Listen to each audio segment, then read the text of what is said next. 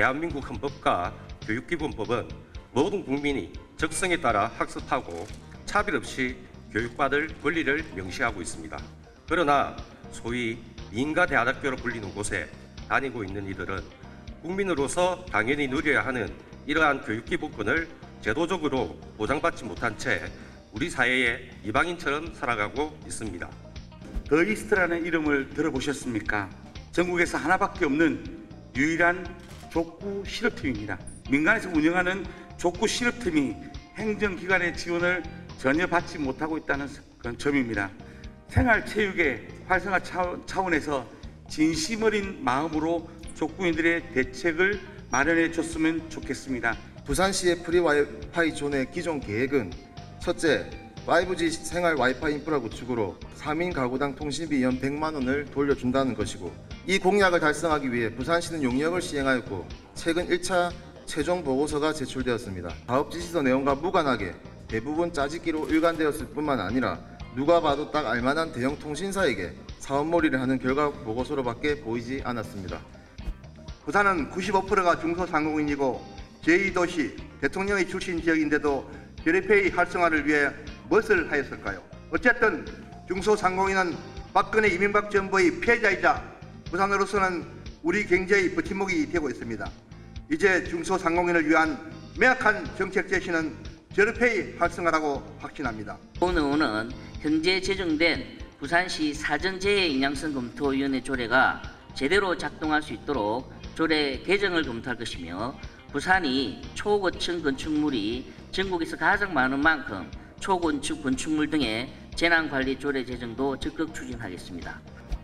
복잡한 일상, 약해 빠진 사회 지지망, 1인당 국민소득 3만 불 진입에도 세계 수위 소득 격차 속에 살아가는 일반 부산 시민들의 정신적, 심리적 건강은 어떨까요? 그 현황과 문제점을 공유하고 시민들의 심리적 건강 유지 및 회복을 위한 공공 심리 지원 및 체계 마련을 촉구하고자 합니다. 직업 성격상 대리운전 기사들 대부분은 심야에 집중적으로 근무를 하고 있기 때문에 업무 수행을 위한 이동과 심야 퇴근을 위해 이동수단의 보장은 꼭 필요한 대책입니다. 이동 노동자 야간 이동권 보호 조례 제정을 위해 노력하겠습니다. 부산시는 여객운송사업법을 위반하는 위법적 영리활동을 바로잡아 주시기 바랍니다. 부산문화재단에서는 생활문화센터를 운영하고 있기도 합니다만 이 역할은 작은 단위의 지방 정부가 하는 것이 훨씬 효율적입니다. 그래서 기초문화재단이 필요합니다. 현재 부산에는 금정문화재단이 기초문화재단으로 유일합니다. 그래서 금정구가 생활문화에서 다른 구군보다 앞서가고 있다고 판단됩니다. 생활문화 활성화를 위한 기초문화재단이 곳곳에 만들어졌으면 좋겠습니다. 이것이 문화가 흐르는 부산이 될 수 있는 가능성을 높이는 길입니다. 지금까지 그 누구도 시도하지 않았던 부산의 모든 공공시설물과 간판은 물론이고 도로변 미관제와 보행 공간을 방해하는 전봇대, 배전함의 지중화 사업을 포함하는 부산의 얼굴을 완전히 바꾸는 부산 갱간 대개조 프로젝트 추진과 함께 지금까지 그 누구의 간섭도 받지 않는 공공기관 현수막 개시에 대한 새로운 관리 지침 마련을 요청드립니다. 에코델타 시티 내 아파트 청약의 경우 6개월 거주 지역 제한이 있어 그나마 부산 시민의 입주 기회가 큰 편입니다만은 단독 주택지는 상황이 다릅니다.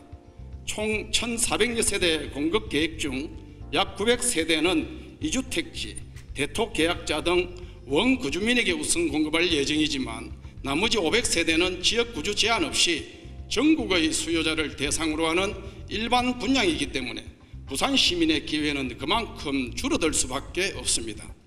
명지 국제 신도시 또한 에코델타 시티 사업을 추진 중에 있습니다. 지반 안전성에 대한 시민들의 우려가 점점 커지고 있는 실정입니다. 지금이라도 사후 지하 안전 영향 조사를 통해 지반 안전 영향을 미치는 요인을 파악하고 지하 침하 발생 시 즉각 대응을 할 수 있는 컨트롤 타워 구축을 촉구합니다. 정보의 격차는 힘의 불균형의 근원입니다. 정보의 비대칭성에서 오는 문제를 극복하기 위해 정보 공개 대상의 확대와 업무 실질화 그리고 대리점 및 대규모 유통업 거래 등의 정보 공개 제도의 확대 등에 이루어져야 할 것입니다. 부산시 각 분쟁조정위원회에 참담한 실적 원인을 파악하고 분쟁조정 업무의 실효성을 높이기 위해 조정 절차, 구성원, 실질적인 구제 기능의 강화 등 제도 개선 방안을 검토하고 소상공인이 널리 활용할 수 있도록 홍보를 강화해야 할 것입니다. 사회 서비스원 설립만으로 모든 문제가 해- 한꺼번에 해결되지 않습니다. 설립 단계에서부터 그 기능과 역할을 명확하게 정립해야 하고 시설법인과 돌봄 노동자 그리고 서비스를 받게 될 시민이 추진단 단계에서부터 참여하고 각기 다른 입장을 가진 관련 주체들의 목소리를 폭넓게 듣고 이리 반영하여 주십시오. 목표의 미달성만 회피하면 되는 현재 평가 기준을 과도한 초과 달성에 대해 불이익을 주는 방식을 도입하여 목표 설정에 책임감을 더해 주시기 바랍니다. 부산시에는 예산과 직무 성과 평가 외에도 부서별 각종 업무 평가들이 있습니다.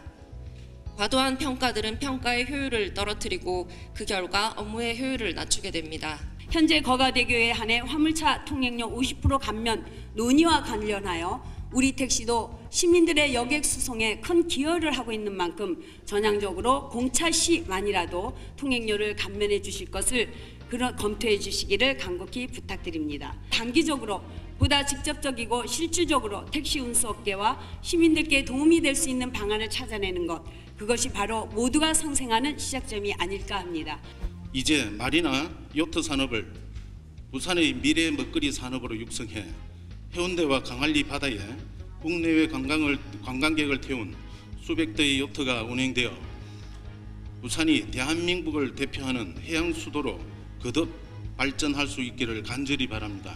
본 의원은 학교 환경 교육의 획기적인 변화로 환경 교육 도시 부산을 만들기 위해 다음과 같이 제안합니다. 일정 학년 모든 학생들이 일정 시간 이상 현장 체험 중심의 환경 교육을 의무적으로 받도록 제도화해야 합니다. 환경 교육 인력 양성과 함께 교육청 차원의 표준화된 환경 교재와 프로그램을 제작 보급해 주십시오. 삼복도로 르네상스 사업과 연계하여 관광 인프라를 개발, 그동안 특정 장소에서만 진행했던 축제를 원도심권 전역을 활용, 곳곳에 산재되어 있던 관광 자원과 통합 활용할 수 있는 계기가 될 것입니다. 학교 도서관 인력 운영 방향에 대한 인식의 전환을 요구합니다.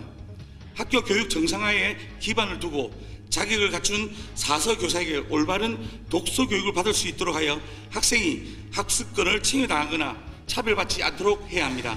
둘째, 학교 도서관에 비교원 인력 배치를 지향하고 사서 교사가 확대될 수 있는 방안을 마련해야 합니다.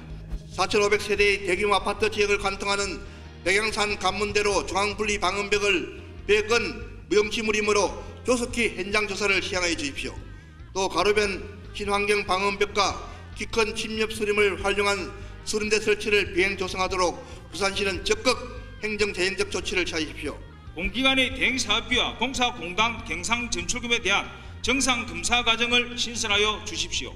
필요하다면 법적 장치도 마련해야 하므로 조례 제정까지 이루어져야 할 것입니다.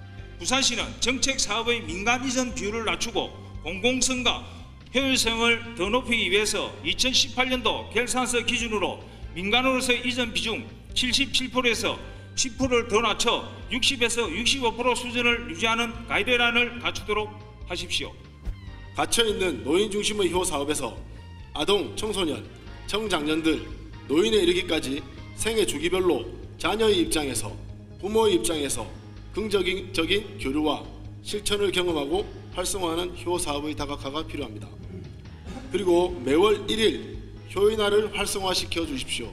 해수욕장 경제적 가치를 높이고 관광 상품화를 위해서는 현재 자치구군에만 의존하는 해수욕장 관리 정책에서 부산시 주도의 해수욕장 관리 관광 상품화를 위한 보다 능동적인 특단의 대책을 마련해 주십시오.